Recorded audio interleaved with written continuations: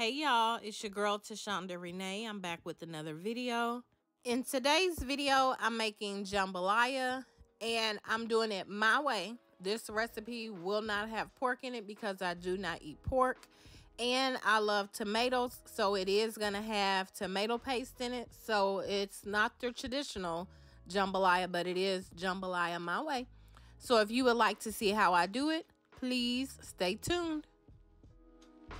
To my skillet, I'm going to add one pound of chicken breast and about a half pound of turkey smoked sausage. I season my chicken breast with Cajun seasoning, um, garlic powder, and onion powder. You want to allow this to cook until your turkey has browned and your chicken is just about done. The chicken does not have to cook completely through because you're going to cook it for quite a while once you add your liquid. Once your chicken is about halfway done, you're going to go ahead and add your bell peppers, celery, and onion. You're going to cook that down until your veggies are soft and translucent. That usually takes just a few minutes. And because I didn't cut up my chicken before I cooked it, I'm going to go ahead and cut it up now with my kitchen shears.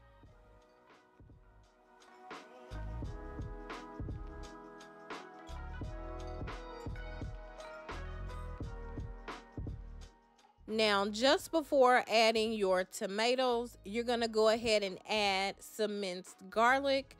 You're only going to cook that for about one to two minutes. You really don't want to cook it any longer than two minutes because the longer you cook garlic, the more bitter it becomes. So you want to avoid that um, because that can ruin your dish.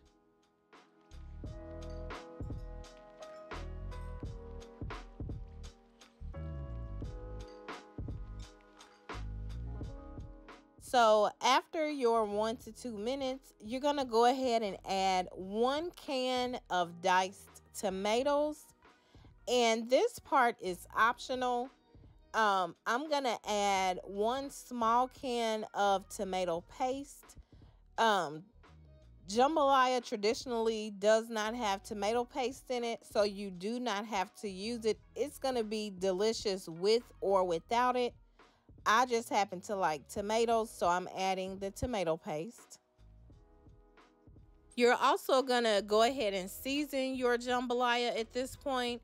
You can use Creole seasoning, thyme, oregano, hot sauce, and or some cayenne pepper. Go ahead and mix everything until it's well combined.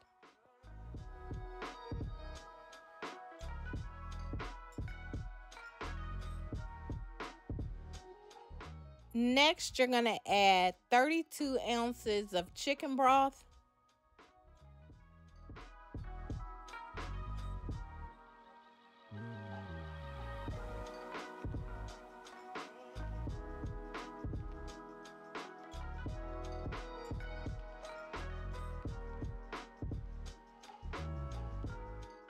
Then you're going to add one and a half cups of long grain white rice. Mix that together until it's well combined. Then you're going to add two to three bay leaves. Add a lid to the top and you're going to allow the rice to cook until it is done. This usually takes anywhere from 20 to about 25 minutes. You're going to cook this at about a medium low heat. You want to avoid your rice scorching the bottom of the pot. I did go ahead and check my rice at about the 20 minute mark and it was not quite done. It needed to cook for about another two to three minutes. So I did allow it to cook that time.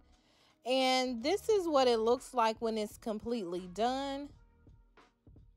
Like I said in the beginning, it's not your traditional jambalaya, but it is jambalaya my way since giving up pork. Um, the recipe is really good, and I think if you give it a try, you will like it. As always, I'll be sure to leave a list of ingredients and exact measurements down in the description box below. If you have not already done so, please go ahead and subscribe to my channel. I would love to have you be a part of my YouTube family. Thank you so much for watching and have a great day.